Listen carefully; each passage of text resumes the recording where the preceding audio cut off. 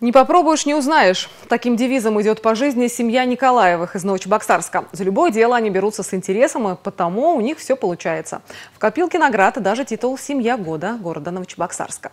Люблю тебя, мама. За что? Я не знаю. Наверное, за то, что дышу и мечтаю, и радуюсь солнцу, и светлому дню. За это, родная, тебя люблю за небо, за ветер, за воздух вокруг. Люблю тебя, мама. Ты лучший мой друг. Это Макар. В свои пять лет Макар уже умеет читать, занимается дзюдо. Он живет в большой и дружной семье. Папа, мама и две сестры Милена и Полина. Милена, хотя и учится в третьем классе, уже определилась с выбором будущей профессии. Хочет стать радиоведущей. Можно будет рассказывать о чем-то, и потом это будет услышать все. Милена очень увлекающийся ребенок, говорят родители. Недавно решила поучаствовать в одном интересном конкурсе и удостоилась благодарственного письма Общественной палаты России. В конкурсе «Гимн России» понятными словами нужно было из гимна России выбрать те слова, которые тебе непонятны, и объяснить понятными словами. Семья Николаевых всегда вместе. Владимир и Ирина поддерживают детей во всех их начинаниях. История их знакомства началась со спорта. Они впервые встретились в бассейне. Я мужу не раз говорила о том, что просто с первого... Я, во-первых, влюбилась в первый взгляд. Это раз. А во-вторых, я просто, глядя на него, поняла, что передо мной настоящий мужчина. Mm-hmm. И до сих пор я так и считаю, что передо мной настоящий мужчина.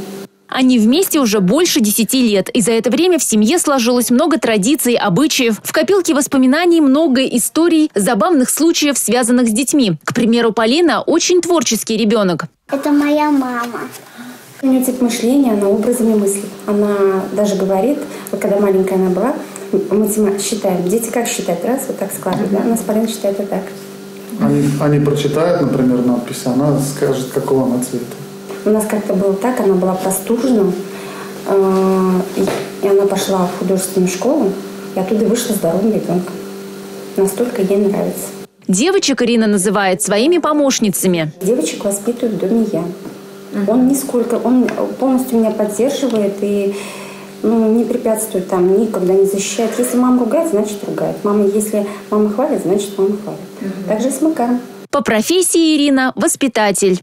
Она заботливая, добрая, но, будем так говорить, целеустремленная. То есть, если поставить себе задачу, цель, то она обязательно добьется. Талантливая. Самый лучший положительный пример для девочек. Я бы вот хотел бы, чтобы дочери были такие, такая же, как она.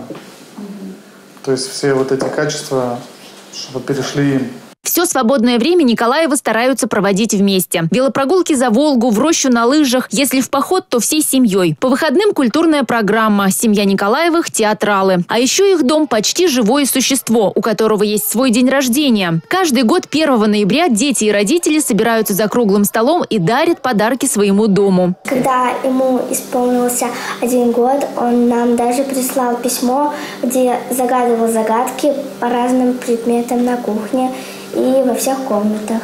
Он нам написал, что он сам живой. Мы сами придумали эту традицию. Мы отмечаем день рождения дома. День, дом у нас живой. Он не любит, когда в доме ссорится. Он любит, Чтобы когда... было чисто. Чисто, аккуратно. В доме у него много помощников. Под крышей этого уютного, теплого дома любят собираться близкие и друзья. Семейный барометр всегда показывает ясную погоду. Татьяна Трофимова, Арена Гавилян, Республика.